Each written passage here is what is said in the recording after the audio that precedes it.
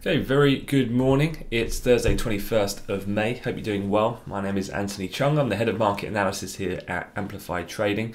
I'm uh, going to run you through specifically some of the market fundamentals ahead of the European Open. Uh, I'll leave the technicals for you guys to deal with yourselves.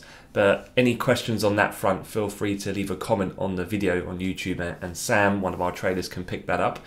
Um, but just having a look at the charts then this morning and, getting straight into things, let's just have a quick look at what's going on. And we had a marginally positive close uh, on Wall Street. However, healthcare, a little bit of underperformance, probably just further digestion of that Moderna uh, turnaround in terms of the vaccine trials that saw their stock price come off significantly and some of that initial kind of almost euphoric response to that news that we had on Monday reversed. Uh, and in the Asia Pacific session, things have soured a little bit, and this comes amid ongoing uh, or increased aggressive rhetoric between the US and China. The kind of uh, the ongoing threats, some more real than others in terms of a Senate ruling, which we'll look at in a moment. Some more a, a war of words at this point. Uh, but certainly does warrant watching very closely as we go into the rest of this week, both today and tomorrow. Uh, so equity index futures off to a slightly negative footing. Uh, the DAX is down about 100. I, I did see a, an interesting uh, tweet this morning that the the entire DAX, uh, every single company combined, so BASF, Siemens, all the German automotive makers, the top 30 companies in Germany uh, have a market cap of that smaller by 100 billion of Amazon, which is just quite phenomenal when you actually take a step back and think about it. But hence the new reality of 2020. Uh, but yeah, index futures slightly negative. Uh, the Nasdaq and S&P off a touch. T notes then up, testing at around the R1 this morning, up three ticks. Uh, gold is lower though, uh, despite some of that um, general news flow.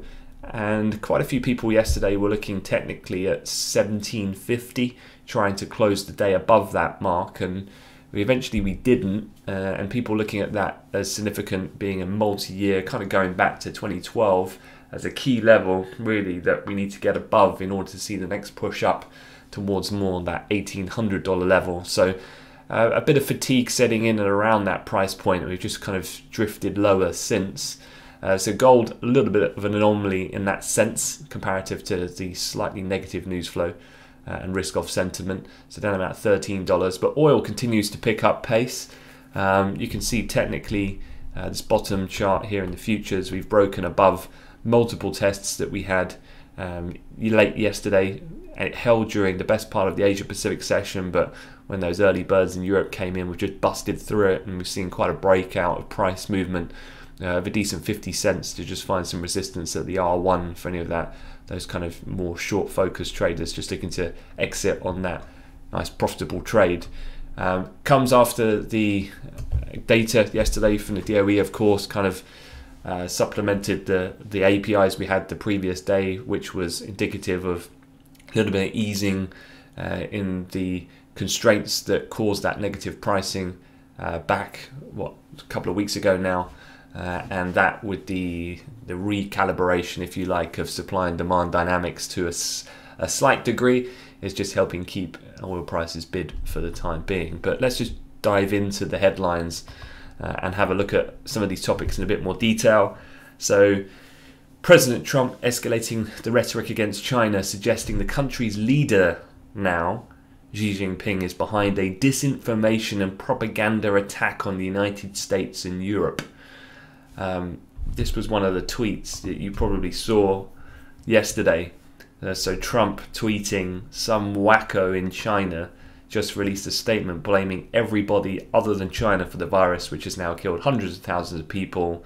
Uh, please explain to this dope that this was incompetence of China and nothing else that did this mass worldwide killing. And then the response to this, so this is the again the 21st century uh, diplomacy is how it works is that Hu Xijin, who's the editor in chief of the Global Times, which is very well known in the market, that basically is the Western uh, or using the the Western format of, of social media to counteract Trump's accusations that this is basically the government's response in an unofficial way. And they said, We never heard of such a wacko in China making this statement. So I have reason to doubt that this dope is actually a fictional one based in someone in your team because there are too many liars, so on and so forth. So quite, quite incredible the, the the choice of language here and the uh, the platform of which this this is happening. But you know this is it, and this definitely does warrant watching really really closely because it's it's definitely going to intensify because Republicans really are trying to make every effort to paint China as the villain here. Uh, and they need to because this is a politically important year for Donald Trump. And he absolutely knows that the economic situation in America is absolutely dire at the moment. Let me just quickly jump over to this. This is this is the level of initial unemployment claims total over two months. And as you can see, more than 36 million US workers have lost their jobs in the last two months, and the likelihood is there's going to be more to come. And so Trump needs to get busy and he needs to be blaming China in order to try and offset then the responsibility at his door. So that leaves a big kind of tail risk for markets where you know everyone's been so kind of virus focused, but generally speaking, although obviously we monitor with the absolute most vigilance, things relatively stable as they look to do this gradual loosening of the lockdown measures. But it's kind of just been almost replaced here by a trade war uh, coming back to the forefront. So, yeah, any misjudgment of this would be of grave consequence to the market. But you know, I just want to remind you, we have been here many times before, and even if the market did respond in a negative way, we know what happens next, right? Trump comes out, the administration sounds much more um, kind of conciliatory tone. That helps markets restore calm. They then talk about a beautiful letter being exchanged between the two leaders, and then we rally again. So if you think about it, even if this rhetoric does ramp up, how negative do you have to be?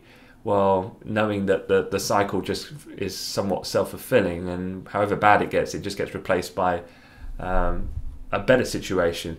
I guess one thing though is is real tangible changes to their relationship. This certainly is. So there's kind of two things here. One is the Senate last night they overwhelmingly approved legislation that would lead to Chinese companies, and these are big companies, companies like Alibaba, uh, Baidu, being barred from listing on US stock exchanges and would require companies to certify that they are not under the control of foreign government. You know, so when it comes to looking at the books of a lot of these Chinese companies, it's pretty much impossible because all the auditing and everything is done in, in mainland China. And so uh, the US looking to use that as reasoning then to block these these big Chinese companies, which obviously have global ambitions from listing on US exchanges. So that and also the slight step up in Trump has always been very careful to really criticize the Chinese government, but never really Xi Jinping directly. However, even that in itself has changed slightly. Um, so, yeah, blaming Xi and also taking these more uh, kind of direct forms, which do have real implications, like this Senate bill, uh, like with targeting Huawei or te- uh, um, Chinese technology firms. These are things that could re- um, actually create a more long-lasting, more negative move. The, the the trade war of words, I'm not so sure, really, to be honest. Uh, so yeah, that's what's going on there. The other thing, while we're on the subject of China, is that there is some important information coming out um, overnight, which we should be aware of by the time we come in tomorrow, and that's Chinese top leaders uh, are looking to unveil on Friday how much they're planning to spend on stimulus, basically to support the the post-virus economy. Um, they're gonna they do this every year. They basically uh, unveil their kind of blueprint on um, targeting of where they want the economy to be by the end of the year, and that generally gives you then an idea of, of to what level and depth of stimulus that they're looking to uh, implement in order to hit those targets. Um, the centerpiece of this event is the is what's called the work report. It's delivered by the premier Li Keqiang, which typically contains the economic growth and spending targets as well as goals on things like jobs and inflation. So if you think about it, the summary of economic uh, projections in at the Fed issue uh, every kind of uh, well, not quite on a calendar, but a quarterly basis, four times a year, when they outline their projections for these key economic indicators. Pretty similar type of thing in China. Um, most important number to watch, though, uh, it is slightly different than the Western format. There's an overemphasis on the GDP number. Um, they target a certain specific level, and, and, this level has been decreasing over time. Uh, there's been a little bit of um, mixed opinion among analysts about what exactly is going to happen overnight, whether they'll target a specific number, whether they won't mention a number at all, whether they'll put in a number. I saw the Global Times was reporting in China um, overnight that they're looking at 6% maybe as a target over a three year period. So looking to just draw it out, given this kind of more whatever shape you want to call it, a Nike swoosh, a W. Uh, but at some point, we're at the bottom of that downturn and we're going to be recovering. So, better to look at it over a longer period. So, there's a few different things there. But again, what will be the most telling is some of the language. Uh, they generally use uh, a kind of phrase of prudent, flexible, and appropriate stance of monetary policy, that meaning then that they've got kind of options to respond and adapt and, and come out with new tools to stimulate the economy. Um, but the main thing people are looking at are any shifts explicitly on the wording um, on monetary stimulus and also that, that GDP target. So, yeah, a couple of things to be aware of. Uh, so, if you were trading things like the Aussie currency, often acts as a bit of a proxy in overnight sessions. Uh, it's worth bearing in mind you would need to be on the lookout for this type of information. On central banks, we did have the Fed minutes last night, and as you can see on your charts, um, no interest in this at all. And as we were suggesting during the briefing yesterday, you know, given the, the nature of it being fairly dated and a lot of the discussion has moved on considerably since that point in time, uh, which has basically rendered these minutes um, not really relevant for the current context. Um, they did note the rapid spread of the coronavirus um, basically is um, you know posing a severe threat to the to the economy. A couple of interesting points that I did see were there was a debate about clarifying Fed monetary policy intentions at upcoming meetings. So this is that idea about the discussion that the, these officials have about what and time and what type of forward guidance do we want to provide the markets in these extreme periods of uncertainty. Uh, and that's a difficult thing because obviously something like a pandemic which is creating is at the, the kind of epicenter of this economic downturn it's a very hard thing to kind of accurately try to forecast. And so therefore officials need to discuss a variety of different tools. We've heard this from the likes of the fed or the bank of england but difficult to be really explicit with that guidance. So a couple of things that they were talking about were um, a fairly limited apparently discussion about yield curve control policy, something that's been adopted by some other countries like Japan, for example. Uh, this would be targeting yields for some treasury maturities. Uh, some officials talked about making the Fed a little bit more uh, clear about its forward guidance by spelling out uh, certain economic outcomes, such as a certain level of unemployment rate or inflation rate. That was something which was adopted by Mark Carney when he first came on board at the Bank of England many years ago. Um, one final point, though, was that the minutes provided no mention of policy me- uh, members discussing negative rates. So again, this is why this, these minutes are, are fairly uninteresting uh, because that is the hot topic, but that's a hot topic that's only come in after this actual meeting took place. Uh, so we'll move on. Bank of England. Um, this is quite interesting. We obviously have had um, you had the governor, Andrew Bailey, speak last week, and he made uh, a, a, kind of good phrase where he said, "Look, no no tools are off the table, but at this point we're continuing to kind of monitor. We will use whatever approach is appropriate at that time." So he was a little bit kind of not discounting the idea of negative rates, but neither was he saying that it's really under debate at this point to any um, strong degree. However, since then, you had Andrew Haldane at the weekend, the FT. You've had Tenreyro from the MPC speak as well just a few days ago. And you had Bailey and some of his senior colleagues at the MPC speaking to the Treasury Select Committee yesterday. and he's made a bit of a U-turn. Um, he's actually said um, the actual words he used were negative rates are under active review. Uh, and again, when you, you know, when you're used to central bank language, it's these nuances that can be very telling in terms of where, at what point of a discussion are they with a certain tool. You know, those who did trade back in uh, the kind of Trichet era, so pre-Draghi, looking at the kind of 2000 uh, mid 2000 to 05, 06, 07, this type of era, that was when we had these ECB code words.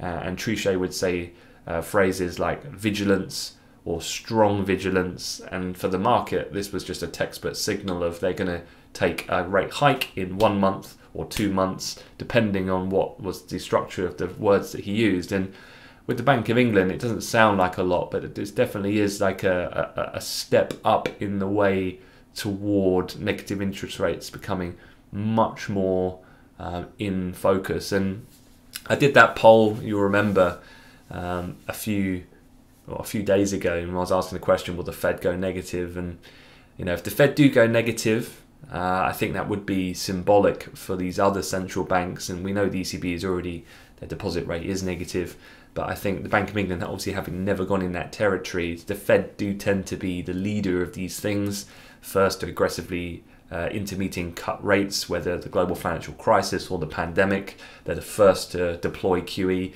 But if you go back to the financial crisis, the Bank of England right on their coattails, one of the first after the Fed to adopt quantitative easing, which was at the time quite a questionable, unconventional policy that was deployed. So here, if, if the Fed do go I think that does up open up the, the, the distinct possibility then that the Bank of England would follow. You know, that's kind of that you know the Fed sneeze, the rest of the world catches a cold kind of idea that they lead that way. So um, we shall see. But yeah, thought I'd point that out. Cable actually is a little bit underperforming, but bear in mind it's in the context of a decent dollar move that's been seen um, over the course of the last couple of hours, and the Dixie's up about three tenths, and the Euro's also a bit weaker this morning.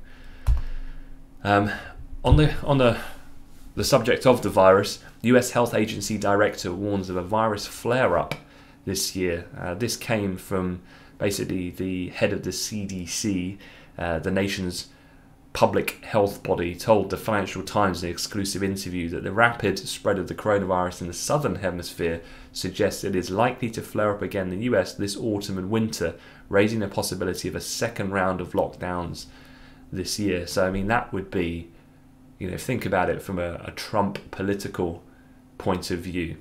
If we were to go into a, a, a second round of fairly stringent lockdown in America during the autumn and winter, and you've got an election to handle in November, that would be really problematic for him because that's going to have obviously direct economic implications. We might see a slight mild recovery only then to come back down again at the worst possible timing. So, that for me, if that did materialize, not only is it then, well, how bad is this second phase if it does flare up again from the virus side, but also what does Trump do in response? Because you know, we're already seeing it at the moment, the way he's he's kind of framing China in the way that he is.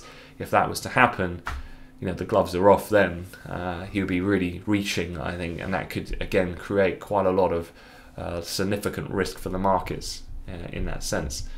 So yeah, thought I'd point that out uh, and just give you an update on that front.